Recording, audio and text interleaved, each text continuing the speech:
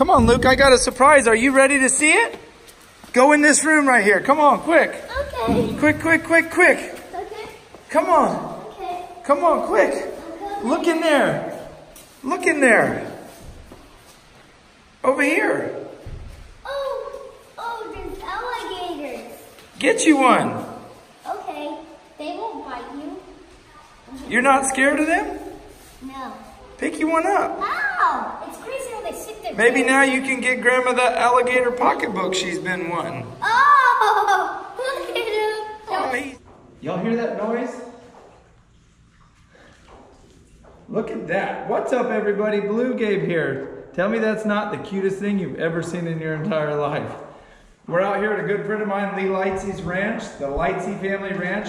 He raises, he goes out in the wild, collects these eggs, legally obviously, brings them back, incubates them, hatches them, and then takes them to Louisiana where they go back to a restocking program. And here we are today, and we're going to tell you all about that. Look at the little guys. They're harmless right now, but in a few years, I wouldn't be holding them like that.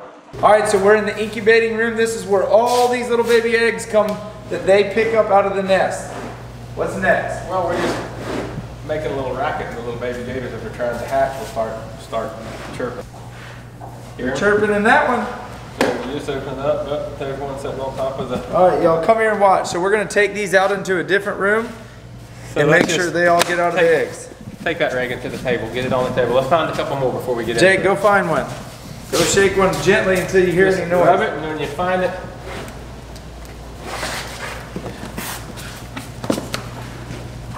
Uh-oh. Now, will just one hatch or will all of them hatch? well, whenever she lays them, they are all going to hatch at the same time. But a lot of times, just one will start, and then what'll happen? The mom will come and and actually hatch the egg. She'll dig them out of the nest, and she'll do it. So we're actually going to take these and hatch them just like the mama would. So the first one in here is sort of like me, an overachiever. He, he's a getter doner.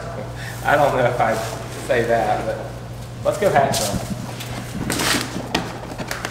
Holy macaroni! Look at all the babies. Look at them coming out of there like crazy. So we're just taking all the excess moss. This So is what called, is the point of the moss? It's called sphagnum moss. It just retains moisture and it keeps up. See, that must have been me in the bunch. Come out of here. Here, look at him coming out. Look at him. He's, he's coming out. Holy mackerel. So, I mean. And then none of these were out of the eggs when you first touched it, but Right, one, so right? you see the he's popping out. I mean, I take and just easily push him out, and he comes right on out, just like that. What in the world? Oh, it's amazing. And you just knock him in. Hello, world. Imagine you being the first person he had to see in his life. I guarantee it. He's like, what did I do to deserve this? Look at this little guy getting away. Getting away. He's thinks he's. So you Now, why do you need to come in here and crack them open? They can't get out on their own? Well, because the bait, the, the mamas would do that in the in the wild. Yeah. The mama comes in and scratch the nest up, dig them out, put them in her mouth, carry them to water. Now, here's the real question. Have you ever had a mama almost get you when you were collecting these eggs? Oh yeah. Oh yeah. Is it like what you see on TV where they get real mean? Real mean. Like you can't just reach down and pet her on the nose and she'll leave? No. Jake, you want to tell everybody about you almost getting jerked in by a giant gator Oh today? my gosh. My dad kept the rod on full drag. And I almost got pulled in the water. In short story, we were gator hunting this morning, but for much bigger gators. Jake had the rod, I put it to full drag, the gator left, and almost took him with him. But all we got him with is the chicken. No, we don't have him until you got him on that dart. I know, I gotta see. Come on, keep your tip, please. But I he was- survived. He's still alive. Everybody, he didn't die. Look at him. I was holding Look at on the baby to the gators. front of the reel. So, Jake, you want another one? You want to hatch another one? Or squeeze them out. Squeeze them Pretend out. you're the mama right now. You're the mama. Put it in your mouth. Put the egg in your mouth. Which, pa- which, There you go. Hold it down. So Put him that- down. And just kind of put him down there low where he doesn't fall and hit his head. And that's what happened to your daddy. He hit his head when he came out. Hold him close to the. Squeeze hard. Oh, there he goes. Now just set him down easy on the thing. There he is.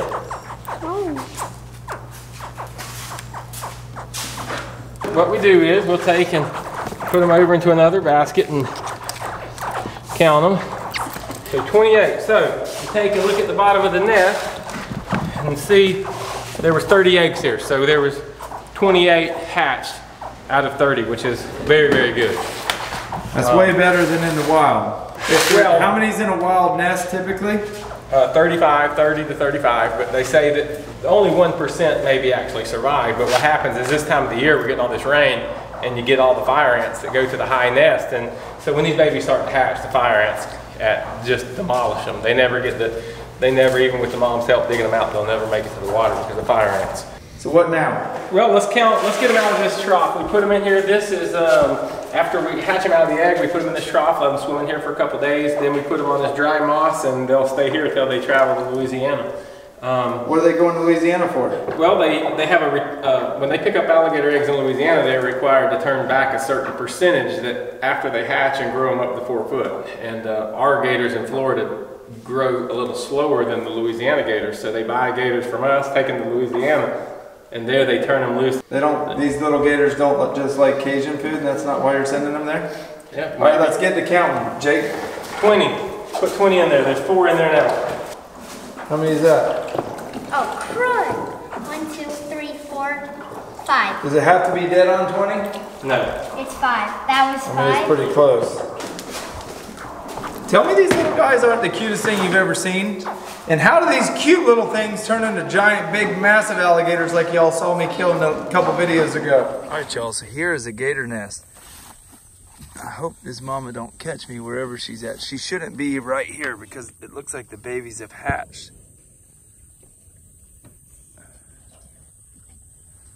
See those eggs?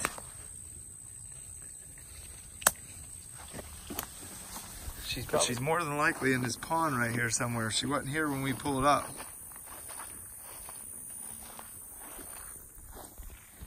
Oh, oh, whoa, there she is. I didn't even see her sitting there. She should pop up in just a second. All right, so we didn't get to give you the full tour today because it was pouring down raining. I'm going to finish this video up tomorrow, come back, try to show you more details, go over a whole bunch more of the, you know, the things that go along with gator nesting. Y'all don't go anywhere. There's still a lot more left. Wonder where she, oh, there she is. There's the mama right there. She just went back down. All right, y'all, as you can see, we're back at the house. It was raining out there so bad yesterday. I wanted to show you more of the alligator nests at the pond, but it kept storming and our cameras are expensive and didn't want to get them wet. When a mama gator starts to build a nest, she gets all around her and gets all kinds of muck and vegetation and bushes and grass and she just builds a big old mound.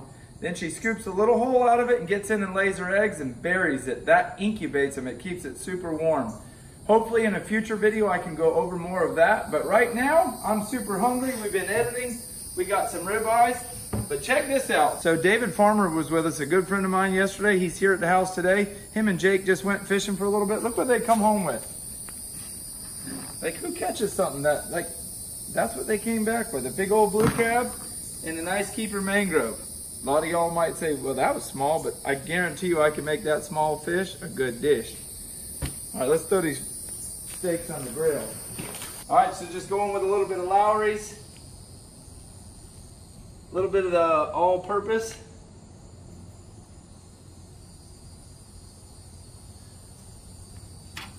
Slapping it on the grill.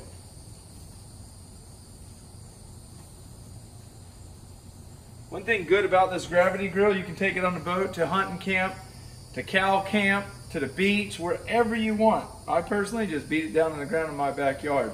We're gonna cook these steaks and I'll see y'all in the kitchen in a minute, but don't go anywhere because I got some more good footage to show you. All right, I promise I'm on my way in the kitchen. This is totally off subject, but for those of y'all that watched my mountain oyster video, you saw that little boy pop a whip. After that video aired, I had a guy on Instagram message me and say, hey, I want to build you a bullwhip. I said, well, that's pretty cool. Build me one. Here it is. And watch this. Let me see how good I can pop this thing. I haven't popped one since I was a kid. Woo! I'm scared to death of popping myself in the face. Pretty dope, y'all. Check him out. He built this thing by hand. The handle, the rope, the whip, the whole nine yards. Now let's go to the kitchen. All right, well, y'all can see I can cook stuff other than fish. See that? See that? Oh, yes. Yep. steak, baked potato with mushrooms, sauteed mushrooms on top. But this is the most important thing. That's that one crab and that one snapper. A lot of people would say, well, why would you keep that one crab and that one snapper? I mean, that's that's a $25 plate at Red Lobster. Add a little bit of a salad, which I got right here. One little crab, one little fish, $25 plate. That's why they kept it. Now they're gonna enjoy it. Look at that, y'all. That, I mean, just come on with the come on. Jake and I are sharing a steak. He's gonna dig into that crab. This is my good friend David Farmer from Georgia. Him and I grew up since we were knee high to a grasshopper. Now we're gonna ask you to say the grace. Lord, thank you for the food we're about to receive. Let it be nourishment to our bodies. Do our work in your name. Uh, thank you for looking after us. Amen.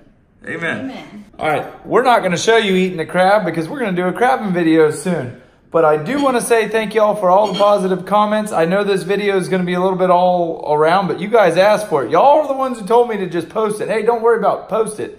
So guess what? I posted it. I hope y'all enjoy it. I hope y'all keep giving me the positive comments. Keep subscribing, keep sharing, keep up all the love. But like I always say, all good stories got to come to an ending. And we out of here.